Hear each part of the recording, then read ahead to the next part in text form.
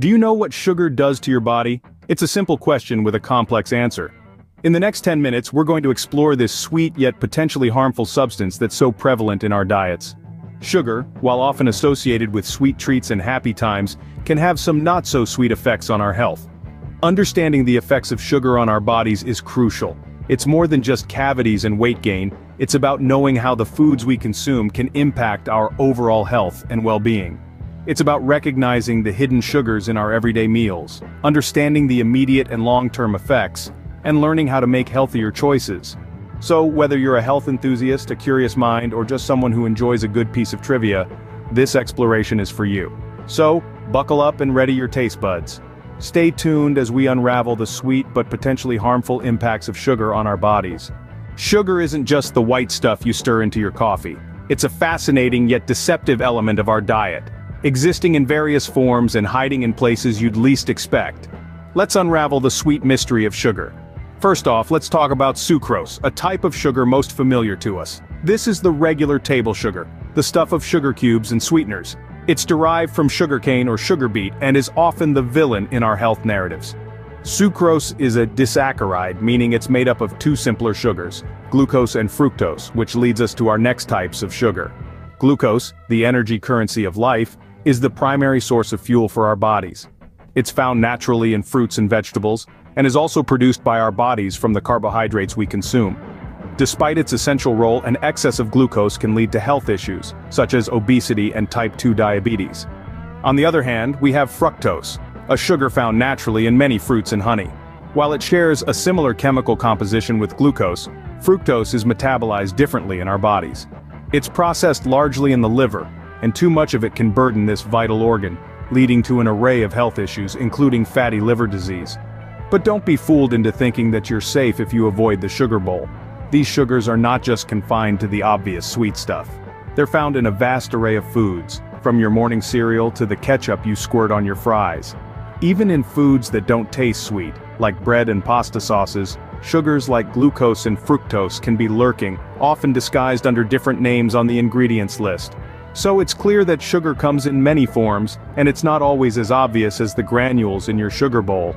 It's a sweet, sweet world out there. But as we'll discover, the impacts of sugar on our bodies may not be as sweet as the taste it leaves on our tongues. Now that we know what sugar is, let's delve into how it affects us. Imagine this. You've just bitten into a chocolate bar. It's sweet, it's delicious, and it's providing your brain with an influx of feel-good chemicals. This is because when sugar enters our bodies it's quickly broken down into glucose. This glucose then spikes our blood sugar levels, giving us that familiar quick energy boost. But as the saying goes, what goes up must come down. And with sugar, it's no different. As our bodies work to bring our blood sugar levels back to normal, we experience an energy crash. This crash often leaves us feeling tired, hungry, and reaching for another sugar-laden snack. It's a vicious cycle, one that can lead to overeating and over time weight gain, but that's not all. Consuming high amounts of sugar over a long period can lead to more serious health issues. The excess glucose in our bloodstream can damage our blood vessels and organs increasing our risk of chronic diseases such as type 2 diabetes and heart disease. And let's not forget about our teeth. Sugar is the favorite food of the bacteria that live in our mouths. When these bacteria feast on the sugars we eat, they produce acids that can erode tooth enamel, leading to cavities and other dental problems. But perhaps one of the most concerning aspects of sugar's impact on our bodies is its addictive nature. Studies have shown that sugar can stimulate the same pleasure centers in the brain as certain drugs, leading to cravings and withdrawal symptoms. This can make reducing our sugar intake a real challenge. So while that chocolate bar might taste heavenly, the impact of its sugar content on our bodies is anything but. It's important to remember that sugar, like anything else, should be consumed in moderation. Too much of a good thing can indeed be harmful. Sugar might give us a quick energy boost but it seems the long-term effects are a bitter pill to swallow. Think you're not a big sugar consumer? You might want to think again. Sugar is not just in your favorite sweets and treats, and it's also hiding in places you'd least expect. Processed foods are notorious for this subterfuge. They may not taste sweet, but they often contain more sugar than you'd imagine. For instance, take that innocent-looking bottle of ketchup in your fridge. You're probably thinking, ketchup? Really? But yes, really. A single tablespoon of ketchup can contain around one teaspoon of sugar. That's about the same amount of sugar in a chocolate chip cookie. And let's not forget about the staples like bread. Whole wheat, multigrain, it doesn't matter. Many brands sneak in sugar to give their loaves a subtle sweetness and to help brown the crust. Salad dressings, especially the low-fat or fat-free versions, are another culprit.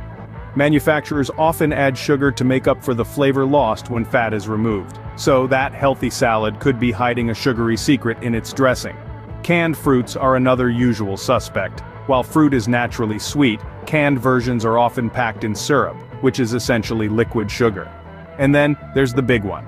Beverages. Sodas, energy drinks, fruit juices, even that latte you enjoy on your way to work, can be loaded with sugar. A single can of soda can contain up to 10 teaspoons of sugar. That's more than the daily recommended limit for both men and women. It's a similar story with breakfast cereals. While they're marketed as a healthy start to the day, many are laden with sugar. Even those that seem healthy like granola or bran flakes can be sugar traps. The list goes on and on. From sauces and marinades to yogurt and granola bars, sugar is hiding in plain sight. So, next time you reach for a seemingly innocent food item, remember to check the label. Because as we've seen, sugar has a knack for turning up in the most unexpected places. It seems that sugar has a sneaky way of creeping into our diets even when we least expect it. Feeling a bit sour about all this sugar talk? Don't worry, we've got some tips to help you cut down. First off, let's talk about food labels. These little panels of information are a treasure trove when it comes to identifying sugar. You see, sugar wears many masks. It may be listed as corn syrup, dextrose, fructose, or even the seemingly innocuous fruit juice concentrate. So next time you're grocery shopping, take a moment to read the label. If sugar, in any of its disguises is one of the first ingredients, you may want to reconsider that purchase. Next, let's discuss the power of whole foods. Picture an apple and a bottle of apple juice side by side. The apple, a whole food, contains fiber, vitamins, and yes, a bit of sugar. But that fiber slows the absorption of sugar, preventing those dreaded blood sugar spikes. The apple juice, on the other hand, is stripped of fiber and packed with added sugar. So whenever possible, choose whole foods. They're nature's way of providing balance. Now what about drinks? Sugary beverages are one of the biggest culprits when it comes to excessive sugar intake. But fear not, because there's a simple solution, water. Water is calorie-free, sugar-free, and the best hydrator out there. If plain water doesn't do it for you, try adding a splash of lemon, a handful of berries or even a few cucumber slices for a refreshing twist. And if you're a fan of fizzy drinks, consider swapping your regular soda for sparkling water. Many brands offer fruit-infused versions that give you the fizz without the sugar. Lastly, remember that reducing sugar intake is not about deprivation. It's about making smarter choices. You can still enjoy your favorite treats, just in moderation. With these tips, you'll be well on your way to a lower sugar lifestyle. So, we've taken a sweet but revealing journey into the world of sugar. We've uncovered the sugary truth, learning about the different forms sugar takes like the familiar sucrose, the fruit-loving fructose, and the body's best friend glucose. We've seen how these sweet devils can wreak havoc on our bodies, causing everything from immediate energy crashes to long-term health issues like weight gain, diabetes and heart disease. We've also played detective, discovering how sugar can sneak into our diets, masquerading in processed foods and drinks that don't even taste sweet. But we're not left defenseless. We've armed ourselves with practical tips to ward off these sugar demons, like reading food labels, opting for whole foods and swapping sugary drinks for healthier alternatives. Remember, sugar isn't all bad, but like everything else, moderation is key. Here's to making healthier and sweeter choices.